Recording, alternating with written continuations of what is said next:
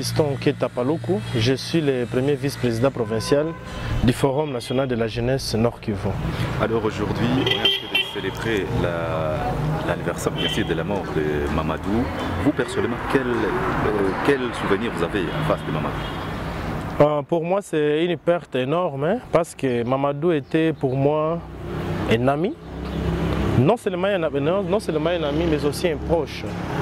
Parce que j'avais des liens indéfinissables avec euh, ce grand monsieur qui, n'est-ce pas, avait pe- perdu sa vie.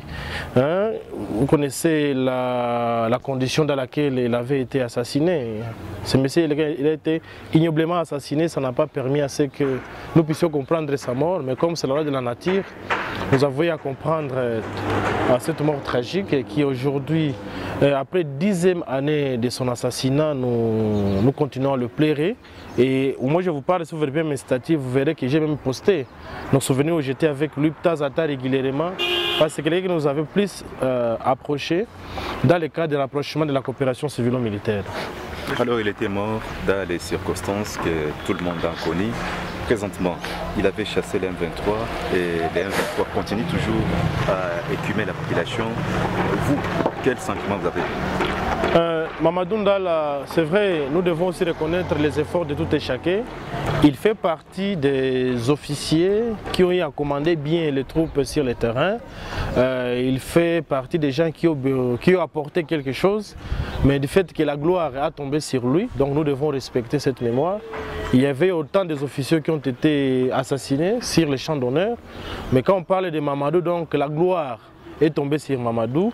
Vous savez, Mamadou, en 2012, il s'était bien comporté sur le terrain comme le coordonnateur des opérations, sous la supervision du général et Père âme aussi, et Baouma, euh, qui faisait partie de, euh, de, ces, euh, de ces grandes structures qui, n'est-ce pas, euh, opéraient sur le terrain lors des opérations en 2012.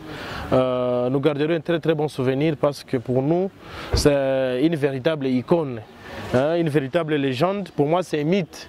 Et je ne cesserai jamais de reconnaître euh, sa simplicité, sa générosité vis-à-vis de, la population. Il avait bien joué son rôle, rapprocher la population à temps réel, euh, réuni- réunifier les gens s'il y avait un problème. Même certains couples militaires, il était quelqu'un qu'on venait voir, n'est-ce pas, pour réconcilier beaucoup de problèmes dans, euh, plusieurs domaines. Mais Mamadou Ndala, un homme et une histoire. Aujourd'hui, nous sommes en train de traverser une guerre euh, par euh, procuration avec l'avènement aujourd'hui de Ouazalendo. Est-ce qu'on peut dire que jusqu'à maintenant, il n'y a pas un autre euh, Mamadou Ndala qui peut renaître dans l'armée congolaise? Un autre Mamadou peut renaître. Pour moi, un autre Mamadou, c'est le président de la République. S'il faut être honnête, l'homme, n'est-ce pas, qui est resté constant à ses décisions.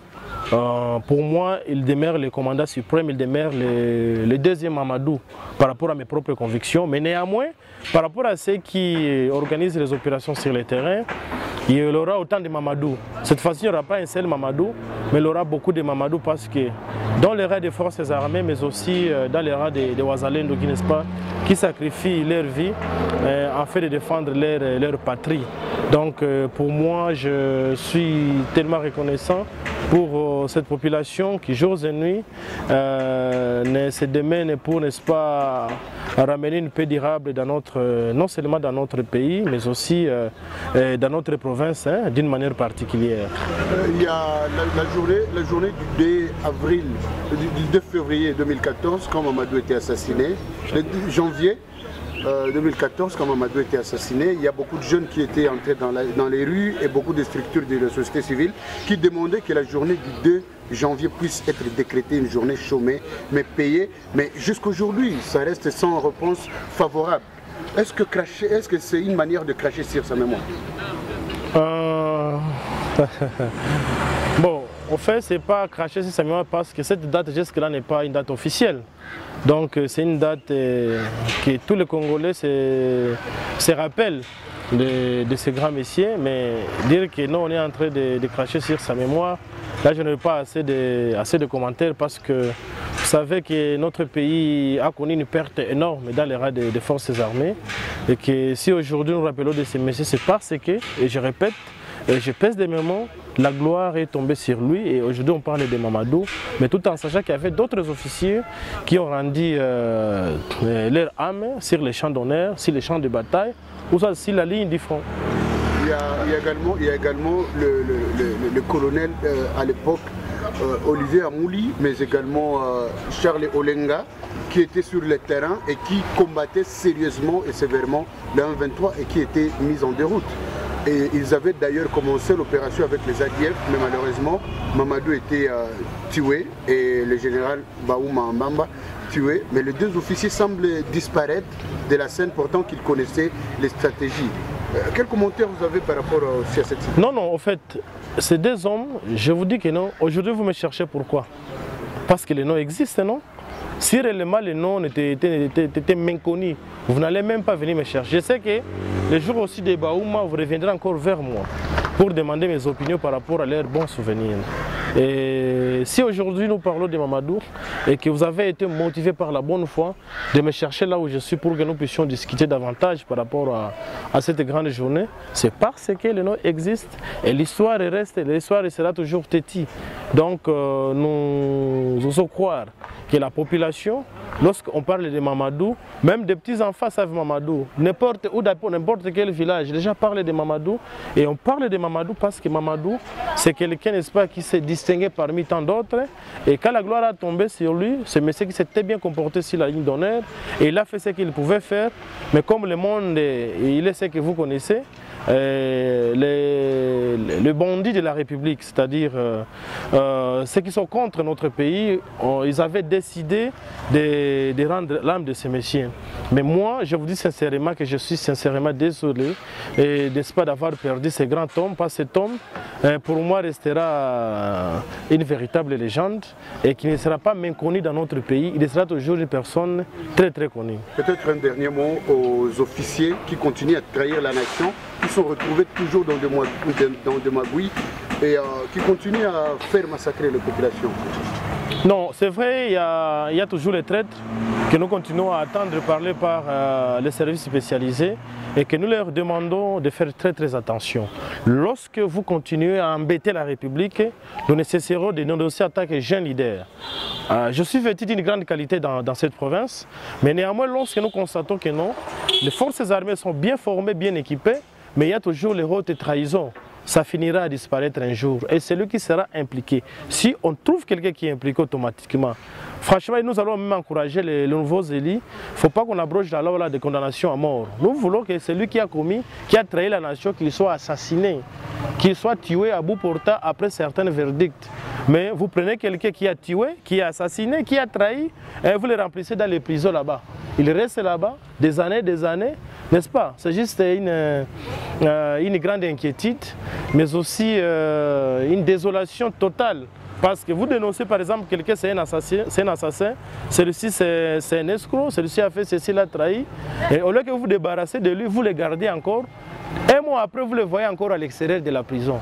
Vous voyez, ça, crée plus d'insécurité à celui qui a dénoncé. Mais nous vous disons que ce qui va arriver dans ce pays, parce que ce que nous sommes en train de vivre aujourd'hui, ça peut euh, faire sortir une autre chose, hein, que nous appelons la guerre civile, parce qu'aucun Congolais qui peut accepter qu'une partie de notre territoire soit cédée par, euh, par un pays étranger. Ça, nous n'allons pas accepter. Et nous vous garantissons que nous avons les contacts à l'extérieur.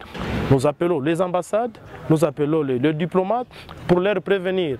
Même avec Antonio Guterres. Nous avons dit Antonio Guterres, c'est inacceptable lorsque vous parlez que non, vous voyez, euh, les M23 est mieux équipé que les Nations Unies. Pendant que dans les Nations Unies, nous avons les États-Unis, nous avons la France, nous avons la Grande-Bretagne, nous avons les superpuissances de la planète. Maintenant, avec cette déclaration, d'ailleurs, c'est ce qui avait, n'est-ce pas, euh, l'attention de la population avec les Nations Unies, la MONUSCO, en particulier à cause de cette grande déclaration. Parce que jusqu'à ce jour, on ne sait pas qui peut nous apporter la paix pendant que la MONUSCO est incapable d'apporter un soutien matériel total aux forces armées. Donc nous profitons aussi de cette occasion pour leur demander de rentrer et que le pays pourra se prendre en charge parce que nous traversons le moment purement crucial. Et que ces moments nous demandent un certain nombre de sacrifices pour que nous puissions revivre une paix totale dans notre pays.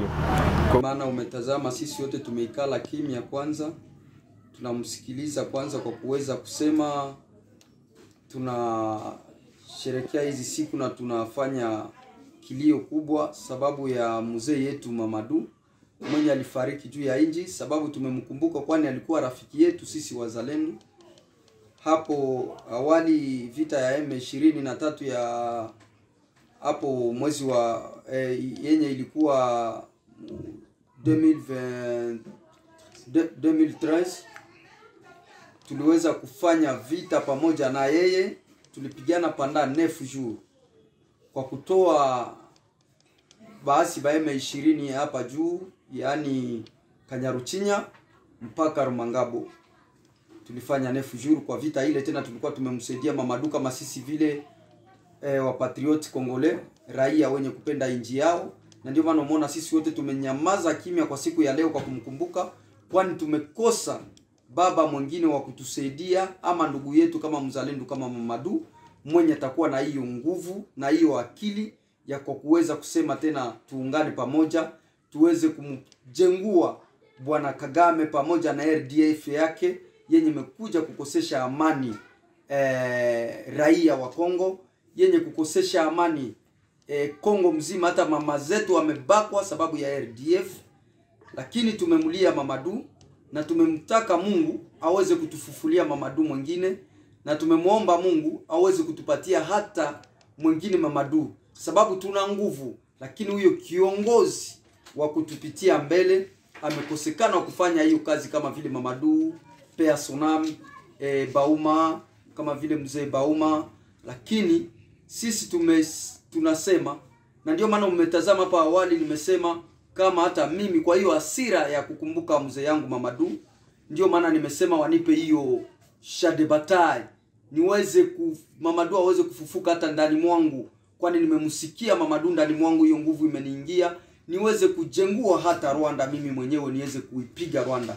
Lakini bwana Benoit Mkumbatia, hivi ni kipi ambacho unakumbuka kwake bwana Mamadu ikiwa alifariki tarehe mbili Januari ya mwaka wa elfu mbili na kumi na tatu? Kitu nimemkumbukia Mamadu kwa sababu alikuwa eh, alikuwa mtu mwenye hakukuwa na hiyo majivuno kama leo tunaona makamanda wengine wanatumika kama na mguu moja ndani ya Kongo, ingine mguu ndani ya Rwanda, lakini yeye alitumika kama Kongomani, alitumika kama mtu mwenye ame, anatumikia inji yake. Ndio maana minamkumbuka namkumbuka sababu hata alikuwa wamemuletea pesa nyingi sababu ya kusema aujishe Kongo aweze kupana mgini, lakini hiyo pesa yeye alikataa hiyo pesa. Hata wazungu walileta pesa, hata pia presidenti wa nchi wa zamani hapo alikuwa anaitwa Joseph Kabila, hata mwenyewe alikuwa akamuita kwa simu kwa kusema kwanza wanatafutenda kwa mazungumzo Nairobi, usiku na mchana Nairobi, lakini bwana Mamadu, hiyo kitu ndio inaacha ninamkumbuka, sababu hata kwa simu yake alifunga akatuambia, watoto wa nji sisi ni nji ama kifo. Na kwa ukweli, wakati alisema sisi ni nji ama kifo, kwa ukweli ameonyesha usuja wake, na tulienda mpaka tulikanyanga Bunagana pamoja, hata alikuwa anatutia moyo sana wakati tunataka kurudia nyuma juu saa yote tulikuwa tukikia toa maji kwa kupelekea maskari kwa kufanya vyote, lakini alikuwa anaambia majeshi yake mtu mwenye atarudi nyuma, sababu yeye mwenyewe alikuwa akichukua hata bakora ama fimbo juu ya mkono yake, yani bateau de commandement.